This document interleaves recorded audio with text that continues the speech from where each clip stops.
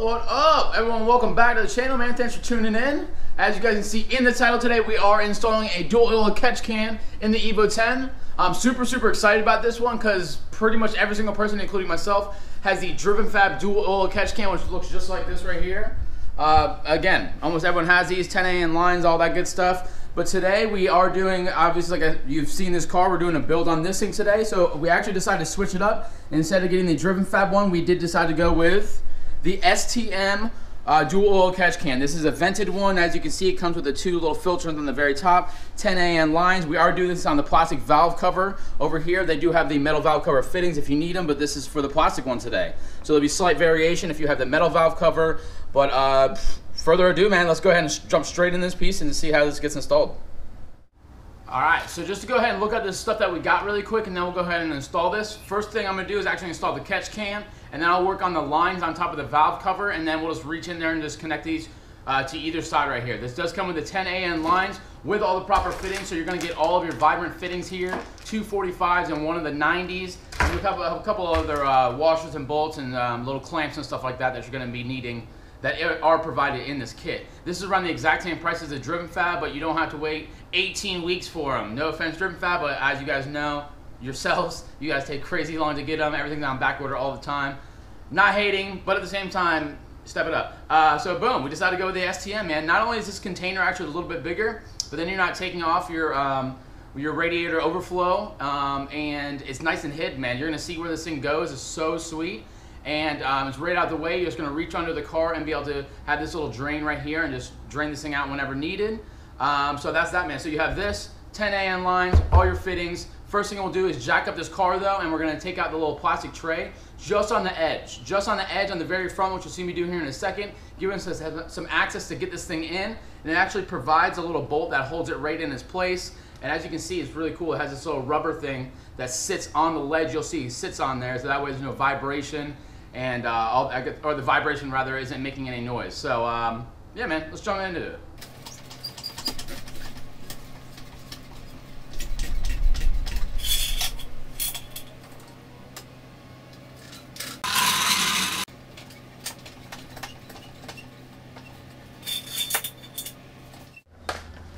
All right, now the car is jacked up safely on stands. Uh, what we're gonna be doing is just taking down this line of 10s right here so we can move this tray because the actual um, catch can sits right behind the intercooler, basically right here on the subframe.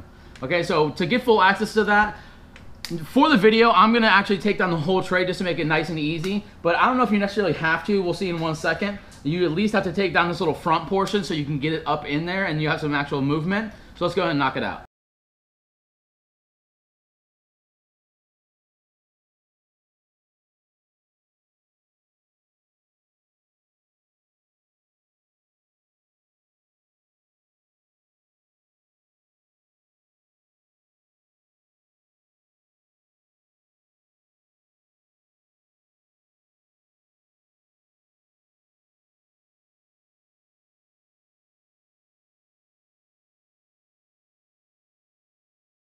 You saw, I did take down the whole tray. Now that I've done it, I do suggest taking down that whole thing because if you don't take it down, it's definitely gonna be a pain in the butt to get your arms in there.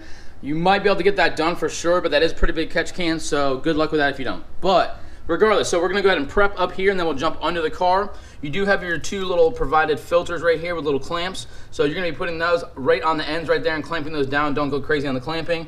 You already have your fittings right here, which will be connecting these lines in a second after we get all these vibrant things together. Uh, but to jump under the car, you're just gonna be grabbing your little bolt right here with your washer and your lock washer. You're gonna be grabbing those, putting your filters on, and then we'll meet you right back down under here. All right, now jumping under the car, as I said, we just went ahead and added our little filters to the top right here. So your two little filters, again, just to show you, this is really cool. It has this little pad right here. You're gonna see where that sits in a second. And then you have your little hole here for your bolt. Now, just to turn around really quick and show you guys, uh, this is the reference. So your, your oil filter's here. Here's a little frame piece. Right there, you're gonna see an open hole. So this naturally will have an open little bolt right there. I think it's like a 12. Uh, and then you had your little bolt and your washer and lock washer that is provided for. So that will go right through the catch can. You'll see me set you guys down here in a second. And you're literally just gonna take that catch can and put it right up on the ledge right here, bolt that in, and that is it for the install. Nice and simple. And then I'll show you where the drain is and how that works. And we'll jump up to the top and connect these lines.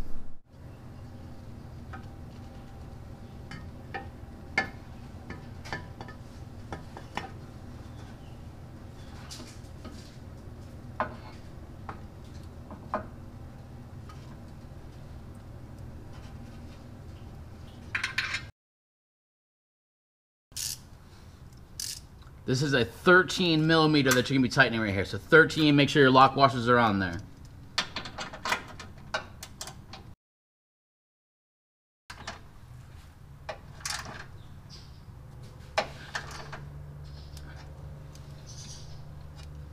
Beautiful, and that's how it's done, man. All tightened down on the 13. Again, this is your little drain that you're gonna loosen up whenever you wanna drain this thing out. Now we'll jump over to the top, connect those lines up, and then I'll just be reaching back down here before I put the tray back down, and just connecting the 10AN lines with your Vibrant uh, fittings to either side of this. And to get this cover off, you're literally just gonna take this and just pull up. Just popping it right up. You're gonna have all these little rubber connections right here, all on the top and stuff like that. Just pops right up nice and simple. Now here's two different lines that we're gonna be getting to. The first one is gonna be this one back here, okay? So you're just gonna disconnect this, clamping this off like that. We're gonna pull that out in a second. And then you have yours up here. Now after taking this off, you're gonna pull it off just like that. Now down here on this connection right here, obviously you're gonna be pulling this whole line off. It does provide a little cap. You're gonna be capping that off and then putting a little clamp on there because you're not gonna be reusing this anymore. So with this disconnected, we'll start on this one and then we'll jump over to the other. You're gonna take your 24 millimeter bolt or um, uh, socket here. And you're just gonna loosen this up.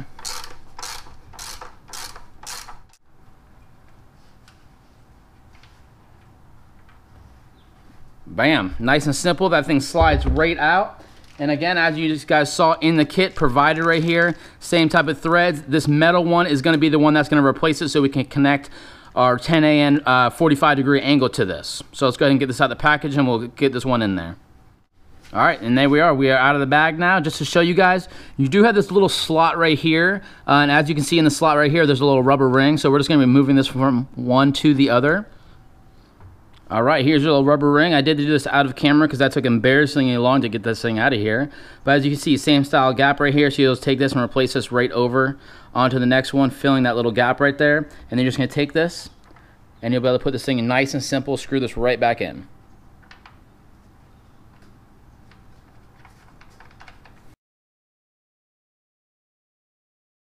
All right, so caution, caution, man. When you do connect this thing back in and you are tightening this thing down with your wrench, uh, just remember that this thing is plastic. Again, you might be using the aluminum one, but even that being said, aluminum is not as uh, super, super sturdy, right? It can flex a little bit when you tighten stuff down. So go ahead and we're gonna do this thing right over the top again. And we're just gonna give a couple cranks just to be tight like that. And that thing is plenty enough just like that, nice and simple. Maybe five, 10 pounds of pressure at maximum. You don't want, again, you don't want to over crank it and strip any of the, the threads inside here and or on the aluminum style one. So that being said, this is where we're gonna be connecting. So again, 45 degrees gonna go on this to this in a second, but we have to make the lines first. So we'll go ahead and set up our back one next by, uh, again, we've already taken our clamp off, so now I'm just gonna slide that thing right off.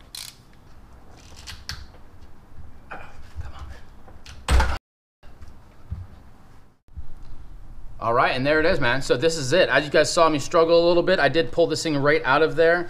It was uh, pretty sealed on there being so hot. But this thing connects back here right into the intake. So I will be pulling that thing off there in a second and we're going to be capping that off because we're not going to be reusing that again. So that will get capped. Again, down here, we'll pull this one off right here. This was the one here. We'll pull that portion off. We'll cap that and put a clamp on that thing. But just to show you, there's a variation between the metal and the plastic valve covers. So if you have a metal valve cover, it will come with a new little piece now, Driven Fab is the one I have. They did suggest, and it worked perfectly, is taking your little metal piece. So what you're gonna be doing is you're gonna have like a little elbow right there on your metal one, right? You're, uh, so you're literally gonna take pliers and you're gonna go back and forth and back and forth and back and forth and loosening it up nice and simple, and then eventually you'll be able to slide that thing right out. It does take some force, um, so be ready for that. But you can go ahead and get that piece out, and then you take your new one, you actually put it in the freezer to get it as small, I guess, as possible in that, in that weird little simple way.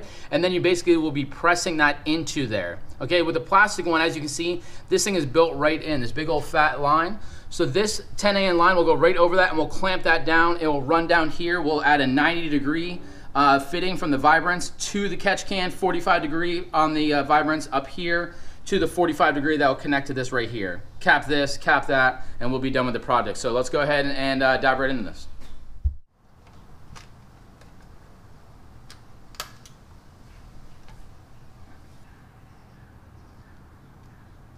Whoa, super psych. Okay, as you guys can see, this is not the cap. This came on one of the 10AN lines on the end of it, so I thought this was the cap that would go over here because that's the only one that's in the entire kit.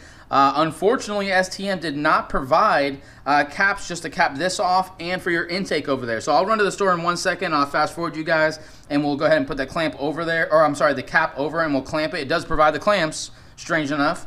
So we'll go ahead and clamp that in one second. I'll show you exactly what size, but we'll go ahead and, uh, without further ado, get straight to the lines and get those things knocked out. All right, great. So now we have our lines out. The catch can is in. So right now you got to make these things, unfortunately. Uh, so they come with five foot uh, pieces over here. These are the 10AN lines. Now there's a video above you and in the link in the bottom to deeply explain uh, how to make these lines. But just to give you a quick uh, run over, as you can see, I already made my ends over here for these ones. Remember that your 90 degree one is going to be for the rear one. So the 90 degree is going to be for the rear connection on the valve cover. This 90 degree will go on the actual catch can and the uncut portion right now, you actually don't put a fitting on. It'll just slide right over there because it is completely just built right into that valve cover. So you just, uh, we're gonna be cutting this in a second though. So what I'm gonna do is I'm actually gonna connect this to the side. I'm gonna run it up as sleek as possible to the back one, mark it, cut it, and then I'll be able to connect that. Um, I'm going to do the same thing with this other one. So the other one is going to be for the front of the valve cover. Uh, this is the one that has the 45. So I got a 45 here. And just to show for the example here, I don't want to jump too far ahead. This is how you're going to do it. So basically, we have a 45 degree angle here. All you're going to do is unscrew this portion just like this. Now, mind you, two things. You're gonna connect this to the valve cover first. I'm sorry, you're gonna connect this to the catch can first and then run your line up just like the back one I just explained.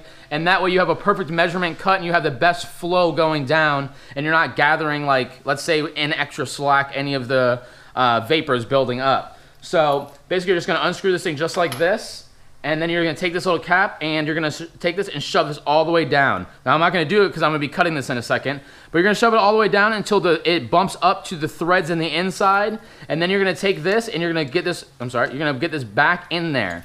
So this is tapered, going smaller to bigger. So when you go in there and you're screwing it in, it is gonna take some force, and that's why I have my wrenches over here you're gonna have to really crank it in there as it's expanding it. And after it's expanded like that, I mean, this thing is locked in. These fittings right here, like, will never ever pull out. Um,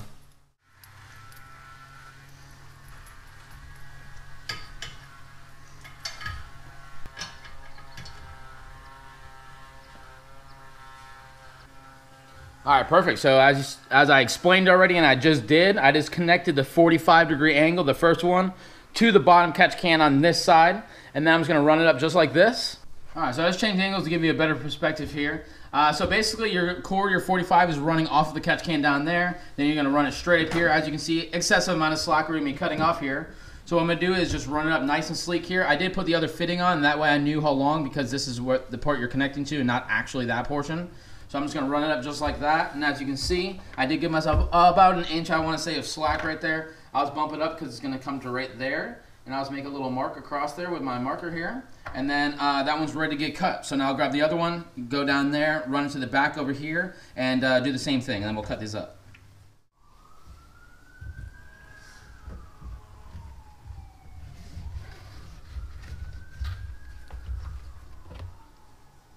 All right, same, same. I got my 90 degree over here on the driver's side of the catch can, and I just ran it up nice and sleek here, wrapped it around this edge. Now, mind you, like I've said, this one's literally just going to get cut and slide right over this big fat end right here. It doesn't have a fitting like this does. And then you clamp it down with the clamp provided. So yeah, man, this thing's just coming up nice and sleek right here. It's going to come around. I'm going to give myself, as always, about an extra inch, I want to say. Take my marker.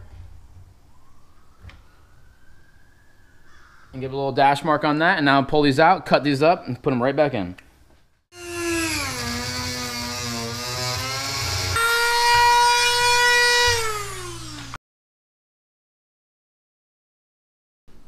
All right, perfect. And just to give a little visual, most likely not, but that went just straight through, bumped up to the threads now. Now, making sure this thing is not backing out as you're doing it. If you watch that other video, he also explains that making sure there's not backing out when you start it. This is tapered style, and you'll just go and you'll start screwing that thing right into there. You're gonna have to get two wrenches on this piece though to make sure that happens. So again, I'm gonna do it off camera once it gets past hand tight, and uh, you'll be in it to put these things back in. Boom. And there it is, man. So you got line here, line here. Both were connected, ran up, cut just like we showed there. I reconnected the ends right here. Um, and that's it, man. So we're going to run this one with the 45s onto this side and then running it a straight up nice stream right to this connection right here. And then you're going to run your other one that has the 90 straight down just like this on this side of the connection down inside there and then it'll just run up nice and smooth up here and then it cuts right under that and connects right onto there and then we'll clamp that piece down right there. Again if you have the metal one it will come with like a little nipple thing that you replace this portion of but this thing's the big old bulky one and it just slides right over that unit. So that's that. So I'm gonna reach in there. Now I'll get under the car show you an under view of how these things are ran and how sleek it is and a above view and then we'll finish putting the car back together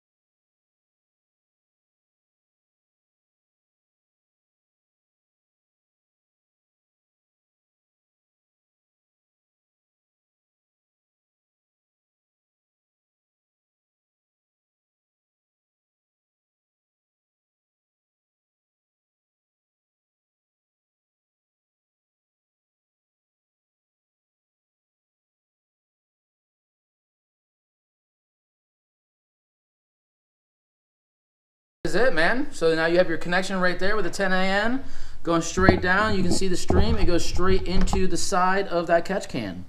So right into the side, nice and sleek, all the way down, jumping over to the back side. You can also see that one is all clamped down, running nice and sleek down here running straight down to that 90 degree right into the top or right into the side of the catch can. Nice and simple. I'll pop on the bottom now and show you guys what it looks like from the bottom side. But as you can see job success man. And it's nice and sleek hidden out of the way. And um, yeah let's check it.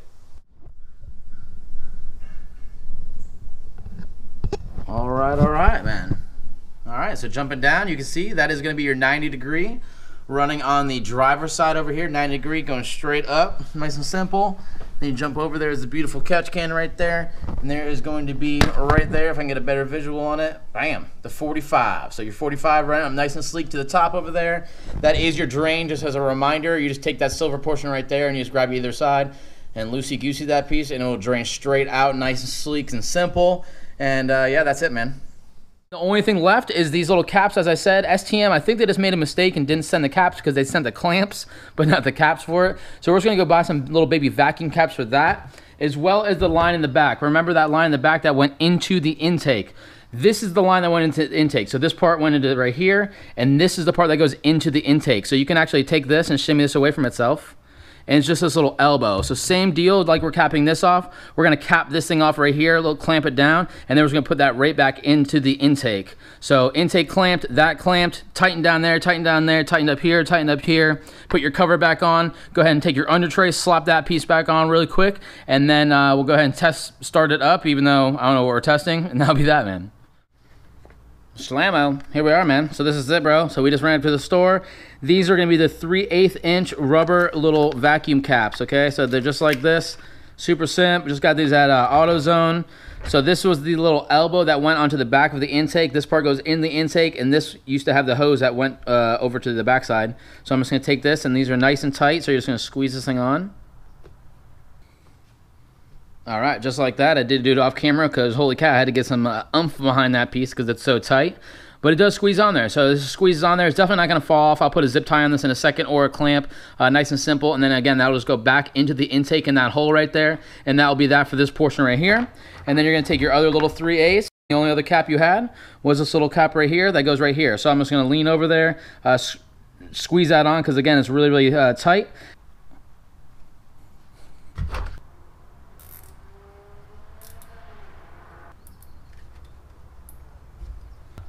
All right, I don't think the zip tie is necessarily needed, but let's keep it proper and get something on there. So that's that. Let's clip this off, reach in the back, put that one in.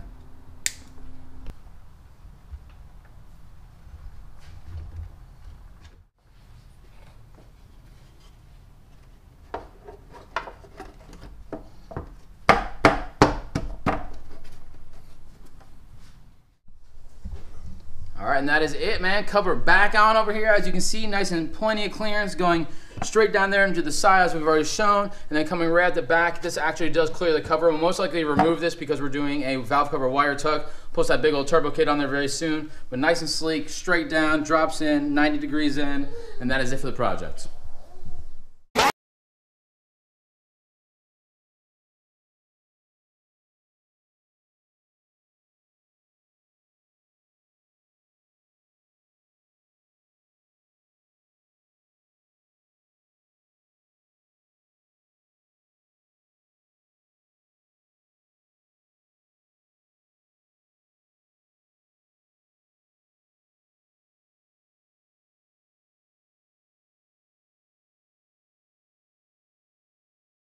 All right, so the Driven Fab one there, which everybody has, but now we are into the STM game, man. So STM is actually the exhaust and test pipe that I have, which I'm super, super happy about. So I've been peeking their website for a super long time. When we decided to do a, a whole new setup on this and we're doing a bunch of stuff, I started sourcing out and not only obviously does Radium have a catch can that has two little containers, uh, Driven Fab you can get there, but you might wait two to four months with nobody picking up the phone, whatever.